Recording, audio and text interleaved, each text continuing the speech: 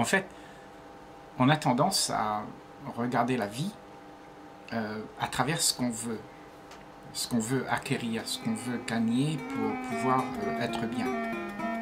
Et ça, c'est une tendance euh, des décennies qui ont formaté nos esprits.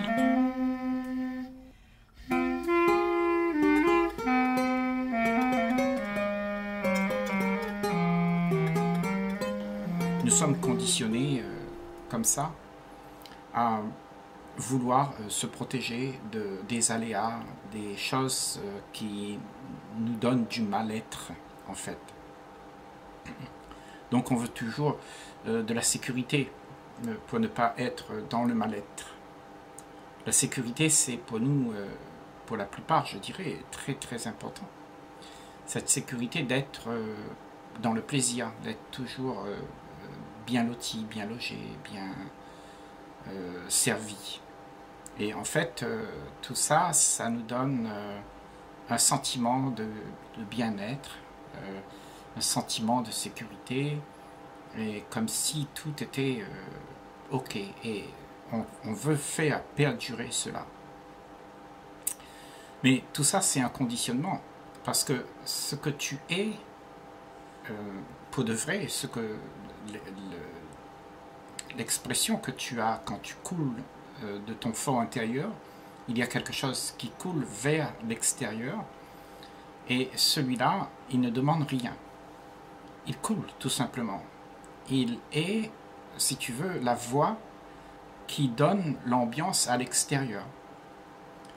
C'est-à-dire, tu n'es pas là pour amasser, pour demander, quémander, euh, chercher du plaisir, mais ce que tu es là, ça, c'est toute la sécurité que tu as besoin d'être, c'est toi-même. Parce que quand tu veux de la sécurité qui vient à l'extérieur de ta peau, eh ben, tu deviens dépendant de ça. Et cette dépendance fait que ça s'aggrave tout le temps parce que euh, tu tombes dans, dans le piège euh, de, de, vouloir te battre toujours plus et plus pour pouvoir garder cet état de bien-être. Mais ce que tu es, c'est pas ça. Ce que tu es, c'est pas quelque chose qui, qui va vers l'extérieur pour prendre et ramener à l'intérieur. Il n'y a personne sur la planète d'ailleurs qui pourra te donner ce que tu as besoin pour être joyeux. Mais ce que tu es quand tu es libre de ce besoin d'être dépendant de quelque chose qui va pouvoir t'égayer la vie, c'est quelque chose qui coule. Il n'a pas de barrière. Il laisse les choses être. Il ne demande rien, il ne veut rien, il n'attend rien parce que c'est lui qui met l'ambiance pour que la vie soit en sécurité. Et la vie, elle sera en sécurité quand il y a de l'amour, quand il y a euh, de la paix en soi. Et, mais si tu veux quelque chose, il y aura toujours de la rivalité parce que tu dois avoir tout un système de pensée euh, qui fait que tu cours derrière ce que tu as besoin de gagner pour te sentir bien. Alors que ce que tu es n'est pas cela, n'est pas comme ça. Il n'y a pas un centre d'intérêt pour pouvoir se protéger dans la demande qui se, fait. Parce qu'il y a une demande constante, euh, égocentrique, qui voudrait avoir ce bien-être. Et on appelle ça notre bonheur, euh, notre bien-être individuel, et on tous on concourt pour faire exister cela. Et on, appelle ça quelque chose de personnel. Mais en fait, euh, il n'y a rien de personnel. Ce, qui est personnel là, euh, c'est quelque chose qui nous divise quelque part. Parce que ce, que ce qui existe pour de vrai, c'est pas personnel. Ce que tu es toi, c'est comme moi, je suis là. Il n'y a pas de, de barrière entre nous. Il n'y a pas de personnel ou d'impersonnel. Il y a juste ce que je suis, c'est exactement ce que tu es. Donc on ne peut rien se cacher. Le problème, c'est que chacun d'entre nous, on s'est mis dans une bulle. Et dans cette bulle, on se cache à soi-même euh, la réalité de soi-même. Parce qu'on veut être protégé, on veut avoir ces moments d'égaiement euh, qu'on ramasse autour de nous euh, dans, ce qu'on trouve. La réussite, euh, tout ce qu'on peut avoir, les affections qu'on peut nous donner. Donc on veut toujours plus. On veut donc être aimé. Et on oublie d'aimer. On aime, mais seulement à condition qu'il y ait quelque chose qui, puisse me donner quelque chose de mieux. Et ça, ça crée vraiment de la rivalité dans nos relations. Parce que nos relations sont remplies de, de rivalité. Parce qu'on n'arrive pas à être gratuits les uns envers les autres. On veut toujours emmener chez nous euh, ce qu'on trouve euh, dehors. Ce que l'on pense qui nous donnera un peu de répit à notre monotonie. Donc, euh, on veut tout ramener à la maison. L'oiseau, on le met en cage. Telle la femme, on la met en cage pour qu'elle puisse chanter une belle chanson quand nous sommes dans la monotonie. Donc, tout est fait à travers un centre d'intérêt qui veut garder sa sécurité pour pouvoir euh, avoir du plaisir. Le plaisir d'être bien, le plaisir d'être celui qui ne manque de rien, et celui-là, c'est justement l'entité qui fait tout le problème de la planète Terre. C'est seulement quand cette entité n'existe pas qu'il peut y avoir la paix.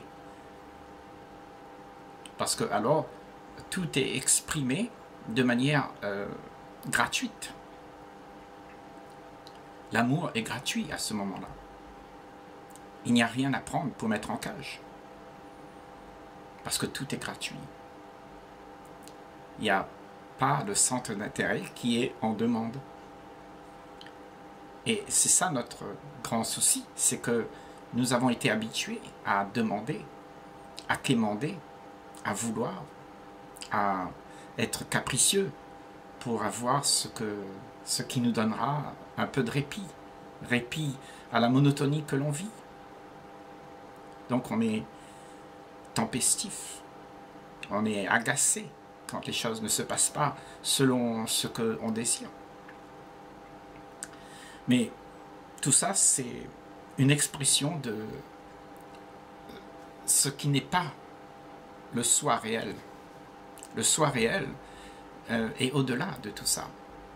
Ça, c'est, on s'est identifié à ce soi qu'on appelle moi, mais cette identification euh, te fait oublier que ce que tu es en, réellement. Le souverain, que l'état souverain que tu as est oublié. Tu adoptes un état euh, qui est en demande, qui veut, qui veut acquérir quelque chose. Alors que ce que tu es n'a pas besoin de tout ça. Parce que il est tout ça. Il est la joie, la paix, le bonheur, il n'a pas besoin de rien, et parce qu'il ne ramasse rien, eh ben, il est en paix. Il n'a pas besoin de se tracasser pour gagner de la notoriété, gagner un peu d'amour, gagner euh, de la reconnaissance de quelqu'un. Donc, l'esprit est libre. Et dans cet esprit euh, libre, il y a euh, une grande joie. Parce que, en fait, ton esprit n'est plus occupé à, t'embêter avec toutes les histoires que tu te racontes pour être en paix. Donc tu veux devenir, tu veux changer l'état dans lequel tu es, c'est-à-dire cette monotonie, ces ennuis, ces peurs, ces angoisses, tu veux changer ça pour avoir un état qui soit agréable. Mais cet état sera toujours un fake ce n'est pas le vrai soi. Ce sera celui que tu voudrais être.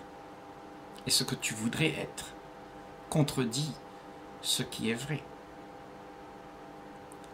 Parce que ce qui est vrai est déjà là. Mais toute l'activité de notre vie, c'est-à-dire tout le conditionnement que l'on a pour pouvoir atteindre euh, un bien-être, euh, demande beaucoup d'énergie. Donc nous dissipons tout ce que nous avons pour pouvoir atteindre cela. Et le monde entier dissipe son énergie pour pouvoir s'activer à gagner de l'éphémère en fait. Et on se rend compte qu'après toute cette activité, ben, on est épuisé et on n'a rien de plus non plus. Alors que ce que tu es là, quand tu es présent, ça te demande d'avoir ta paix, ta liberté, toute cette énergie-là.